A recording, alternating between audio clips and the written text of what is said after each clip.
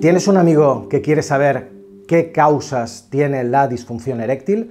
Me llamo Eduardo García Cruz, soy urólogo y desde hace más de 15 años ayudo a hombres que tienen disfunción eréctil y en este vídeo te quiero explicar las seis causas fundamentales que tienen los problemas de erección.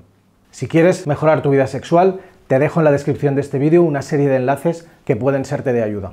Entonces, ¿cuáles son estas seis causas de disfunción eréctil. En primer lugar, ¿por qué es importante la causa de la disfunción eréctil? La disfunción eréctil es un síntoma, es un síntoma en muchas ocasiones de otras enfermedades.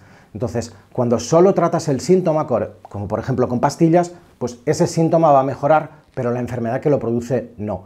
Y por lo tanto ahí cuando tratas el síntoma pero no entiendes qué lo está produciendo, lo que va a pasar es que con el tiempo posiblemente ese tratamiento con pastillas va a dejar de ser eficaz.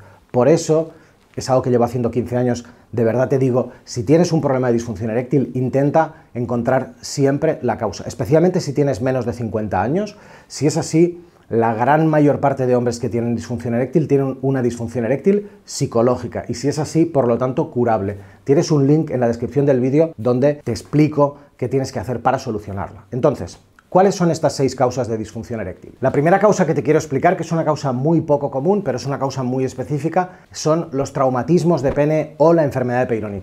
El traumatismo de pene, el grado máximo de eso es la fractura de pene, lo que produce, pues, lógicamente es una fractura de los cuerpos cavernosos, se lesiona la arteria peneana, a veces incluso se lesiona la uretra y eso hace que esa arteria deje de funcionar y por lo tanto tenemos problemas de erección. Y el Peyronie, que es una enfermedad que produce fibrosis, es una enfermedad auto inmunitaria, te he hablado de, del peironí en otros vídeos del canal, lo que produce es básicamente fibrosis y esa fibrosis y esa inflamación local puede producir lo mismo, que la arteria deje de llevar sangre al pene. Fractura de pene es fácil de diagnosticar porque es una sensación de crack teniendo relaciones con el pene en erección, muchísimo dolor y el pene se hincha mucho.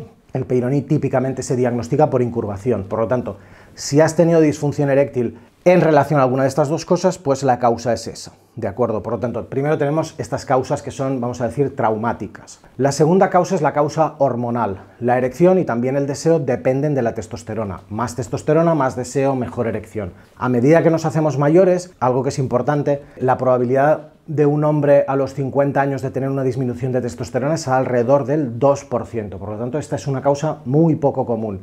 Esta disminución de testosterona va a ser más o menos relevante a partir de los 60, 70, 80 en hombres que tienen otras enfermedades, pero es muy poco habitual que un hombre, por ejemplo, de mi edad, yo tengo 47 o más joven, tenga una disminución de testosterona.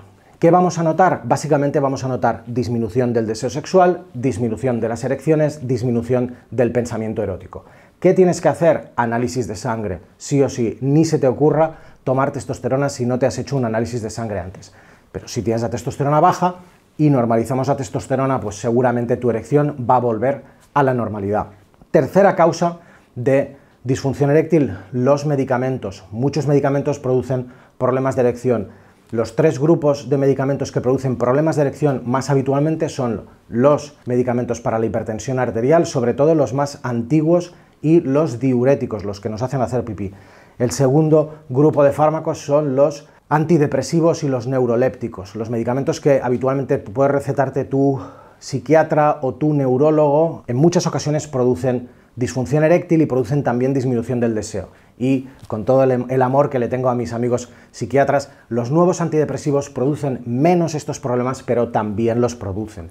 El tercero de los grupos, que son los medicamentos para la próstata, los que damos los urólogos, muchos inhibidores de 5-alfa reductasa, que son el dutasteride y el finasteride, o los medicamentos que utilizamos los urólogos para el cáncer de próstata, además de los medicamentos que usamos para la hiperplasia benigna de próstata, los alfa bloqueantes, no producen disfunción, pero producen alteración de la eyaculación y eso a algunos hombres no nos gusta y nos puede producir una disfunción eréctil. Por lo tanto, estos tres grupos de fármacos, antihipertensivos, neurolépticos o, o antidepresivos y la medicación para la próstata producen problemas de erección.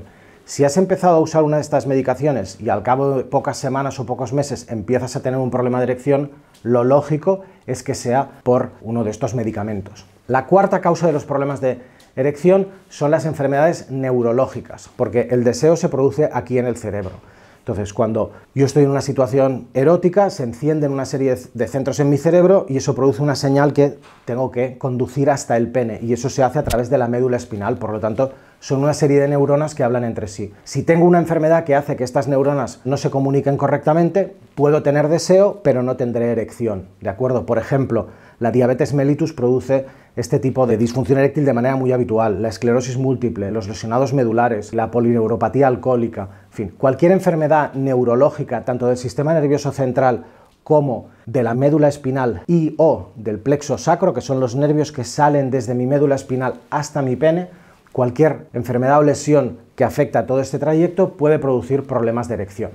La quinta causa de la disfunción eréctil, y me he dejado la sexta para el final, que es la más común, sobre todo en hombres de menos de 50 años, la quinta causa es la más común en hombres de más de 50 años, que es la disfunción eréctil vascular, especialmente la disfunción eréctil arterial, cuando no llega sangre suficiente al pene.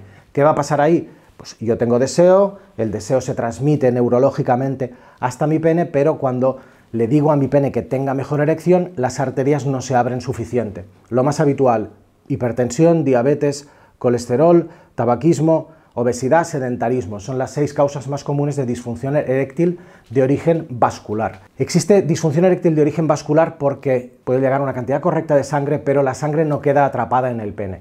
A eso se le llama fuga venosa. Te he hablado de la fuga venosa en otros vídeos del canal, es una causa muy poco habitual y si has sido diagnosticado de fuga venosa, no te conozco, pero voy a hacer una predicción. Si tienes menos de 50 años, en realidad no tienes una fuga venosa, tienes muy probablemente una disfunción eréctil de origen mental, un bloqueo por nervios. ¿Cómo lo sé? Porque hace mucho tiempo que me dedico a esto y te diría que numéricamente, lógicamente me puedo equivocar, pero numéricamente la inmensa mayoría de hombres por debajo de los 50 años que no han sido operados ni irradiados ni tienen ninguna enfermedad grave, que se diagnostican de fuga venosa, en realidad tienen una disfunción eréctil por nervios, que es la sexta causa y la causa más común de disfunción eréctil, especialmente en personas de menos de 50 años. Aproximadamente entre un 10 y un 20% de hombres de menos de 50 años tienen disfunción eréctil y la causa es mental. Se llama disfunción eréctil psicológica o funcional, hay muchos nombres, pero en esencia lo que significa es que cuando estoy en una situación erótica, mi cerebro en lugar de estar en modo erótico, está en modo preocupación, en modo ansiedad,